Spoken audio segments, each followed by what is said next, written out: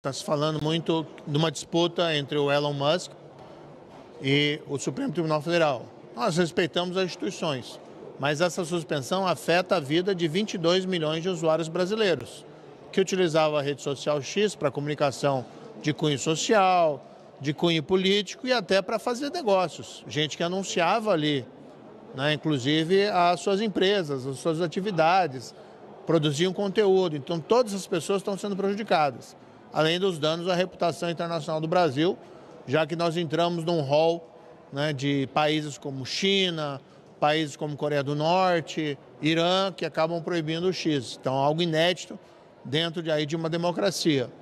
Do outro lado, tem a Starlink, que é uma empresa que presta um serviço relevante aqui para usuários no Brasil, serviços de satélite, muitas vezes chegando onde nenhuma outra empresa chega. Então, nós queremos fazer essa audiência pública para apontar esses impactos?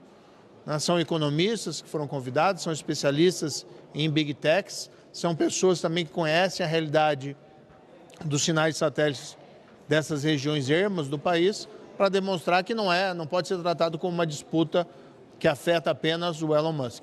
Tá? Vou deixar muito claro, eu sou contra ataques ou ofensas pessoais a ministro supremo ou quaisquer outras autoridades. Mas nós temos que ter um debate racional sobre esse tema. Eu tenho dito respeitosamente que desde um passo longe demais ao suspender essa rede X com prejuízos a tantas pessoas no Brasil e depois a gerar insegurança jurídica com, essas, uh, com esse bloqueio de contas da Starlink.